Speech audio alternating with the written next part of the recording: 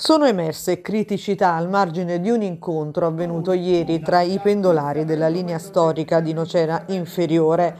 Dieci anni fa cadeva un muro di contenimento a portici che portò all'interruzione della linea ferroviaria per 14 mesi. Qui ci sono tutti i presupposti, poiché a crollare non è un muro ma un costone roccioso al di sopra del quale vi è un'abitazione abbandonata. Sono passati 20 giorni dall'evento franoso e nessun atto amministrativo ha dato l'avvio ai lavori.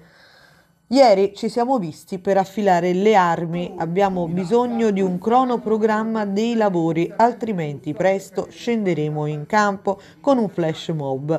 È il disagio emerso al margine di un incontro da parte del gruppo pendolari in linea storica di Nocera Inferiore. È stato un incontro costruttivo e organizzativo. La preoccupazione da parte dei membri del comitato è dover lottare per ottenere servizi minimi di sopravvivenza e non tornare alle battaglie di un tempo.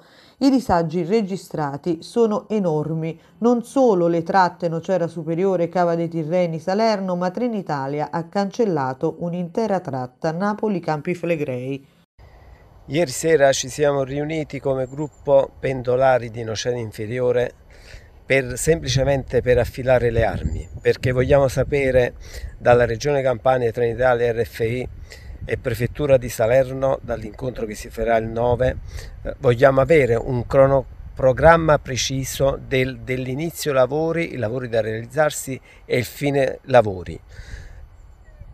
E soprattutto chiediamo immediatamente il ripristino di tutti i treni tra Napoli Campi Flegrei e Salerno perché i treni arrivati a Nocera Inferiore possono andare via Galleria eh, perché eh, questa settimana sono stati cancellati numerosi treni. Noi avevamo quasi due treni per, Na- due treni per Napoli, uh, un treno ogni mezz'ora, quindi due ogni ora e tre eh, per Salerno ogni ora, adesso abbiamo anche buchi di due ore, il che sta creando disagi anche a eh, chi si dirige a nord di Oceano Inferiore, quindi verso Napoli, perché sopprimendo un treno poi non trovi il ritorno da Napoli, quindi si stanno affollando non solo i bus sostitutivi per Salerno, ma anche i bus provenienti da Napoli.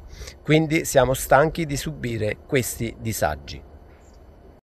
Questo crea enormi disagi per chi lavora su Napoli a nord di Nocera Inferiore. Prima i pendolari potevano godere di tre treni l'ora, mentre ora ci sono attese anche di due ore. E mentre chi da Salerno ha la speranza di prendere un pullman, rischiando anche di finire fuori per esubero, sfiorando vere e proprie risse, in particolare al mattino presto e nelle ore di punta, chi da Napoli deve tornare verso sud ha enormi disagi per ore interminabili. Noi temiamo che questo disagio possa protarsi per lungo tempo, nell'attesa che avvenga la riunione in prefettura il comitato chiede un cronoprogramma di inizio e fine lavori. Se questo non succederà, noi scenderemo letteralmente sui binari.